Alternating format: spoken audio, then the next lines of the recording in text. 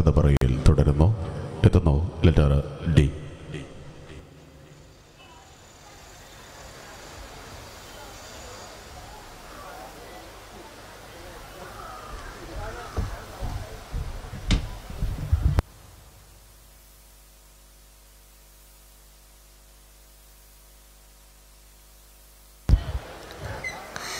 അസ്സലാമു അലൈക്കും വറഹ്മത്തുള്ളാഹി വബറകാതുഹു. ബഹുമാനപ്പെട്ട ഉസ്താദുമാരെ പ്രിയപ്പെട്ട എന്റെ കൂട്ടുകാരെ S S F Malappuram west ജില്ലാ സാഹിത്യോത്സവിന്റെ അതിമനോഹരമായ ഈ വേദിയിൽ ഞാൻ നിങ്ങളോട് ഒരു കൊച്ചു കഥ പറയാം. പൈങ്കിളി മാസികകളിൽ വന്ന പള്ളക്കഥയല്ലോ ലോകത്തിലെ ഏറ്റവും മികച്ച വിശ്വസനീയ ഗ്രന്ഥമായ പരിശുദ്ധ ഖുർആാനിൽ അള്ളാഹു പ്രതിപാദിച്ച ഗുണപാഠ കഥയാണിത്. പണ്ടൊരു നാട്ടിൽ പഠിച്ചവൻ തന്ന പണം പാവങ്ങൾക്ക് നൽകിക്കൊണ്ട് പരിശുദ്ധ ജീവിതം നയിച്ച ഒരു പണക്കാരനുണ്ടായിരുന്നു. വർഷാവർഷം അദ്ദേഹത്തിന്റെ കൃഷിക്കൊത്ത് സമയം വരുമ്പോൾ നാടാകെ വിളമ്പൽ ചെയ്യും. നാനാദിക്കിൽ നിന്നും പാവങ്ങൾ അതിനും പാടത്തേക്ക് ഒഴുക്കും. കൊയ്തെടുത്ത ധാന്യങ്ങൾ വൻ തോതിൽ അദ്ദേഹം പാവങ്ങൾക്ക് സമ്മാനിക്കും. എല്ലാ വർഷങ്ങളിലും ഈ പതിവ് തുടർന്നു പോന്നു. ആ നാട്ടുകാരുടെ കണ്ണിലുണ്ണിയായി ഒരീബ് നവാസായി അറിയപ്പെടാൻ അദ്ദേഹത്തിന് അധികകാലം വേണ്ടി വന്നില്ല. എങ്കിലും ഈ സൽപ്രവൃത്തി ദഹിക്കാത്ത ചിലരുണ്ടായിരുന്നു. മറ്റാരും ആയിരുന്നില്ല അദ്ദേഹത്തിന്റെ മക്കൾ തന്നെ. പക്ഷേ പരസ്യമായി ഉപ്പയോട് പറയാൻ അവർക്ക് ധൈര്യം വന്നില്ല.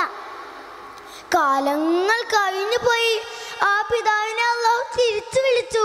ഇതോടെ മക്കളുടെ മനത്തലങ്ങളിൽ സന്തോഷ സൂര്യൻ ഉദിച്ചു. ഇല്ല ഇനി നമ്മുടെ വയലിൽ നിന്നും ഒരു ചെറു ചെറുമോളി പോലും കൈപ്പിടിയിൽ ഒതുക്കാൻ ഒരുത്തരെയും അനുവദിക്കില്ല. ഒന്നാമനും മൂന്നാമനും അട്ടഹസിച്ചു. ഇക്കാലത്തും ഉണ്ടല്ലോ പാവങ്ങളുടെ ഹക്ക് ഹലാലാക്കുന്ന പിശുക്കന്മാർ. ഇതുകൊണ്ട് തന്നെയാണ് പഠിച്ചവൻ അടിക്കടി പരീക്ഷിക്കുന്നതെന്ന് ഓർമ്മയുണ്ടായിരിക്കട്ടെ. കഥയിലേക്ക് വരാം.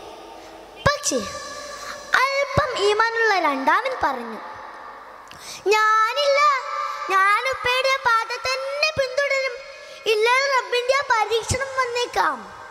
ഓഹോ ആവട്ടെ നിന്റെ ഓഹരിയിൽ നിന്ന് നീ എന്ത് വേണേലും ചെയ്തോ. ഞങ്ങളുടെ ഓഹരിയിൽ നിന്നും ഒരുത്തനും ഒരു ചെറുതരി പോലും നൽകില്ല.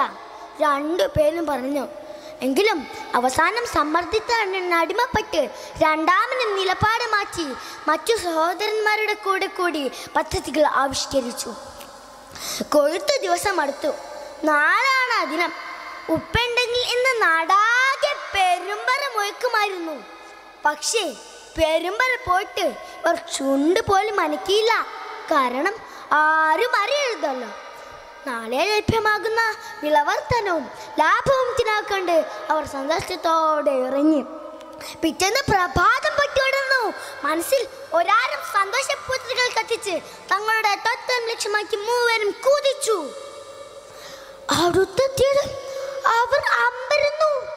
വയലിൽ കതിരുകൾ പോയി ചരി കച്ച് തുനുമ്പ് പോലുമില്ല. സകലതും കത്തി നശിച്ചിരിക്കുന്നു. നമുക്ക് വൈമാറിയോ മാറിയോ ഇത് നമ്മുടെ തോട്ടമല്ല. അവർ പരസ്പരം പറഞ്ഞു ഒന്നുകൂടെ വന്ന വഴി ശ്രദ്ധിച്ച് വീക്ഷിച്ചു.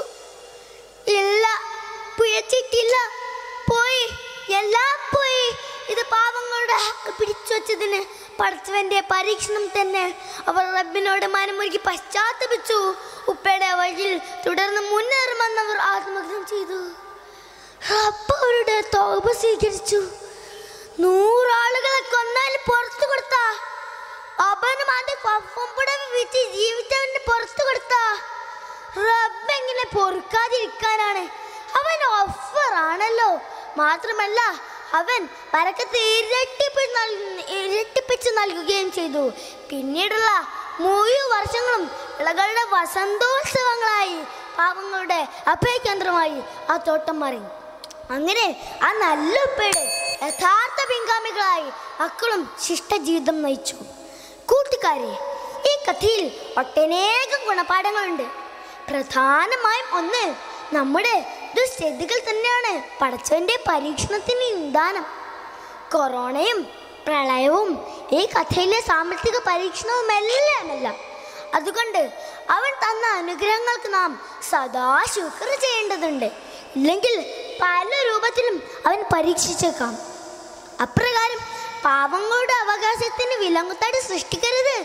അത് അള്ളാഹിന്റെ ബലായനയുടെ എന്നും കൂടാതെ പരീക്ഷണം വരുമ്പോൾ പശ്ചാത്തപിച്ചാൽ പതിന്മടങ്ങ് ബർക്കത്തുകൾ റഹ്മാൻ തീർച്ചയായും നൽകുമെന്നും ഇക്കത്തെ വിളിച്ചറിയിക്കുന്നു. ഈ ഗുണപാഠങ്ങളെല്ലാം ഉൾക്കൊണ്ട് ജീവിച്ച് ഇരുലോക വിജയം നേടാൻ നമുക്ക് എല്ലാവർക്കും അള്ളാഹു താല തോഫിക്ക് നൽകട്ടെ. ആമീൻ. വാക്കുകൾക്ക് ഇവിടെ അസ്സലാമു അലൈക്കും വറഹമത്തുള്ള